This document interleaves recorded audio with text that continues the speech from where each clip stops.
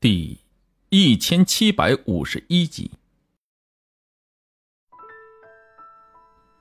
叶浩轩的手机是科技的最新产物，所以不管在什么地方都是有信号的。他接通了电话以后，不由得笑道：“南宫小姐，你给我布的一个好局啊！你所在的位置，确实是圣地所在。你在去的时候，应该就想到，既然是那种隐藏在世的洞天府地，那一定不是普通人能找得到的。”你不是普通人，你能找得到。但你想在圣殿里面治疗你的伤，那就得闯关过阵。你这是在考验我吧？对，我这是在考验你。毕竟，你是最有可能成为我男人的人。我的男人，一定不能比我差。现在先别说这些沉重的问题。你要先告诉我，这个阵该怎么破？叶浩轩看着周围的星宿图像，越转越快，他不由得戒备了起来。这座大阵是对应紫微斗数的十四颗主星，每颗主星里面都蕴含有一颗本命星宿的星君分身。不过你放心，这阵存在的太久了，那些星君的分身大部分都是在沉睡当中。据我所知，只有七杀星君的分身是拥有意识，也是最危险的。你说这些星宿的图案，是星君的本人在这里？叶浩轩吃了一惊，他有些无语的说：“那可是星君呐，是神奇，你让我一个普通人，跟神奇去斗？”我都说了，是分身。南宫音再次强调了一下。哪怕是一个分身，但是对方作为一个神奇，也不是我现在能对付得了的吧？叶浩轩有些生气的说：“你这就是想看着我去死？想成为南宫家族的女婿，有些事情是必须要面对的。”南宫音还是认真的说：“闯过去，对你算是一次历练。我想，距离你真正的达到金丹大道，只有一步之遥了。”现在告诉我，怎么对付拥有意识的七杀星君？叶浩轩问道。没有捷径，只有硬拼。不过你要当心一点。七杀星君是紫微斗数十四主星里面比较厉害的角色，他的杀气也是最重的。虽然他并不是主体，但他也不是你现在的实力能对付得了的。你就是想让我来送死，啊！叶浩轩有些悲愤的说：“我研究过你的命宫，但是你的命宫我却看不清楚，如同雾里看花。那又怎么样？大凡命宫看不清楚的人，都是要成就一番事业的人。所以你放心去吧，你死不了。好了，我不跟你多说了。”这么久了，七杀星君应该已经感应到有人闯进他的地盘了。他要开始觉醒了。喂喂，你先别挂。喂。叶浩轩有些郁闷的收起了手机。南宫音根本无视他的决定，直接挂断了他的电话，这让他倍感蛋疼。十四颗主星的转动已经放缓。叶浩轩发现，其中七杀星的光芒最盛，除此之外，其他主星的光华都有些暗淡。这也证实了南宫音的说法。他说，大阵之中只有七杀星君的分身还在，其他星君的分身大部分陷入了休眠。但是叶浩轩不知道如何面对杀意极强的七杀星君，他只知道自己现在的处境很危险，因为他看到了七杀星芒越来越盛。随着七杀星芒的星光越来越盛，周围也亮了起来。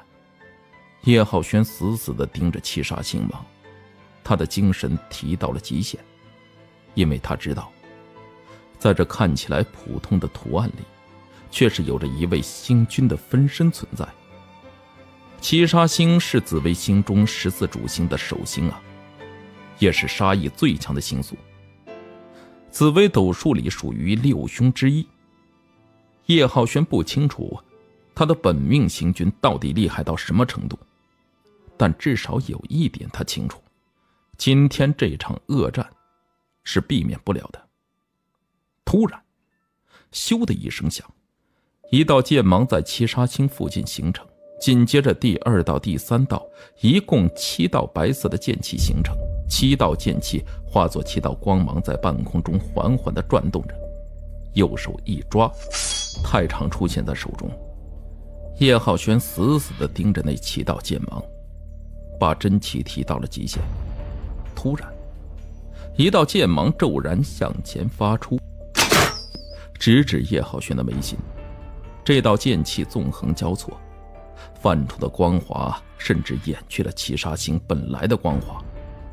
叶浩轩大喝一声，他倒拖太长，在黑水中疾奔，七步踏入，他猛地顿住了脚步，然后手中的太长手起剑落，一剑斩出。轰！一个巨大的水花被掀翻了起来。湛蓝色的光华骤然涌起，与七杀剑芒交集在一起。轰！炽热的光华向四面八方涌去。叶浩轩的身体一震，连退了七步，而他背后的裂纹在这一击之下似乎又变大了。他忍住背后的疼痛，盯着余下的几道剑气，似乎是被叶浩轩的举动激怒。余下的六道剑气全部向前一提，平平的指向了叶浩轩，然后呼呼呼的数声响，数道剑气激起地下黑水，如六条蛟龙一般向叶浩轩冲来。叶浩轩大吼一声，他手中的太长一个横扫向前一指，太长上幻化出了一道蓝色的屏障。屏障将叶浩轩给护在了其中，砰！一道剑气击中了屏障，叶浩轩身体一震，这一道剑气的威力大得出奇，他的屏障之上已经出现了一道裂痕。紧接着，第二道剑气，第三道剑气，嗡嗡的剑气让空气都扭曲了起来，剑气击中蓝色的屏障，每一次都给叶浩轩带来巨大的震动。他咬紧牙关，死死地持着手中的巨剑。最后一把剑气划破虚空，重重地击在了屏障上。这一击，叶浩轩终究没有撑过去。白色的剑光划破虚空，从叶浩轩的胸口洞穿而过。叶浩轩的身形向后一仰。他就像是一片落叶一般落入了水中，而在他落入水中的瞬间，水又有了变化。叶浩轩仿佛身处一个无尽的虚空，他的身体不断的往下沉。京城，许彤彤像是往常一样上班。他每天要面对的，则是一些厚重的资料。许彤彤对下属很好，很多事情他都是亲力亲为。平时在公司更是没有一点总裁的架子。现在的长期制药，已经是一家大型的跨国制药公司，比起在他父亲手里的时候，规模扩大了近百倍。现在市面上流通的中药，要么就是长期的，要么就是长期的下属公司的。所以，在国内，甚至是世界上，常记说自己是第二，没有人敢称第一。徐总，这是昨天一批药材的送检结果，您看一下。刚到办公室，助理便走上前，拿出了一份文件，递给了许彤彤。药材黄曲霉素超标，发霉了吧？许彤彤接过合同，看了几眼。只是看了几眼，他的眉头便皱了起来。这份资料是对一批中药进行的抽检，这一批次的中药明显的黄曲霉素超标。啊，或许对于一些黑心企业来说，这些药经过处理以后是能正常使用的，但是对于长记这样的大公司来说，这种药材是绝对不允许使用的。是的，但是徐总，这批药材的产地今年遇到了天灾，所以市面上这种药材奇缺。我们进入到欧美市场的一款中成药，最主要的药材就是这款药材。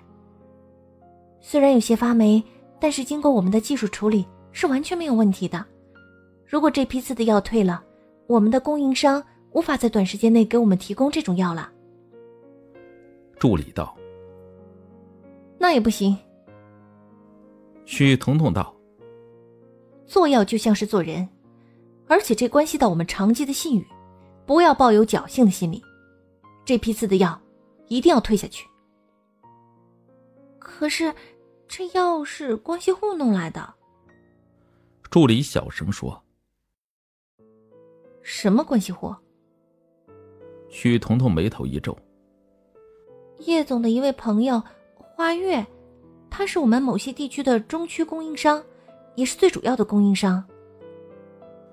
助理道：“哪怕是叶总自己提供来的，这些药也不能用。”许彤彤眉头一皱道：“另外，花月知道叶总的性格。”他平时提供的药物基本上都没有问题，这次是怎么回事？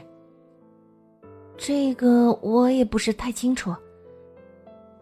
助理想了想，这一批次的药报备上来了以后，抽检部的人就感觉到有问题，而且供应商还试图贿赂我们的工作人员，不过被我们拒绝了。贿赂？许彤彤感觉到事情有些不对劲儿，他回过头。我们再三严令无申，不能做出贿赂的事情来。一旦有，马上处理。现在发出通告，取消花月所属公司的供应商资料。另外，对于这次的抽检人员，进行三个季度的奖金奖励。好的。助手见许彤彤动了真怒，他也不敢再多说什么了，他只得微微的点点头，然后转身离开。许彤彤坐到办公桌前。一天的工作，这才算是正式开始。作为一家大型的跨国制药集团，他每天都有着处理不完的工作，而且这是药。对于许彤彤来说，药是掌控一个人生命的东西，千万不能有一点的马虎，否则的话，口碑下跌是小问题，还极有可能会出人命。通知下去，取消三锦医药的供应商资格。然后发出全国通告，进行新一轮的供应商招标。许彤彤是一个丝毫不马虎的人，他说过要严肃处理，那就一定会严肃处理，哪怕对方是叶浩轩的朋友也不行。长记做到今天，靠的是信誉和口碑，他绝对不允许那点事情导致长记的口碑崩塌。刚刚放下电话，门铃便响了起来。许彤彤一边翻开了一个文件夹，一边说：“请进吧。”门一开，花月走了进来。因为他的腿被叶浩轩打断过，后来虽然是断肢再生，但是跟他原来的腿稍微有一点区别，所以他走起路来有些不自然。不过不容易看出来，所以说一般的人一眼看去，他还是一个正常人。不过。与他熟悉的人，就会知道啊，他的其中一条腿其实是断过的。许彤彤与叶浩轩亲密，但并不代表他与花月熟。而且刚刚花月旗下的供应商出现了问题，正要处理他的时候，这家伙就过来了。花总，我有些事情正要找你呢。许彤彤放下了手里的文件。她看着花月，你知道你旗下的公司出现了什么问题吗？啊，知道，中药材里面的黄曲霉素超标，药品不合格。花月笑了笑，哈哈哈。其实徐总，这件事情我可以解释的。你想怎么解释？许彤彤看了花月一眼。花总，你知道长记现在的地位，也知道我们集起今天的口碑很不容易，所以现在我取消你供应商的资格，你没有意见吧？徐总，你这样做，是不是有些不近人情了？花月的眉头一皱，先不说我与叶总的关系，单凭这次药物发霉的事情，你应该详细的调查一下。你提供的这批药是金银花，但是今年它的产地因为多雨，所以大部分的药田都出现了问题，少有收成。就算是有收成，多半也会因为连年阴雨天而发霉。因为这种药材想保持效果，不能用电或者火烘干，必须用太阳烘干，否则的话药效就会大打折扣。因为天气的原因，所以这款药奇缺。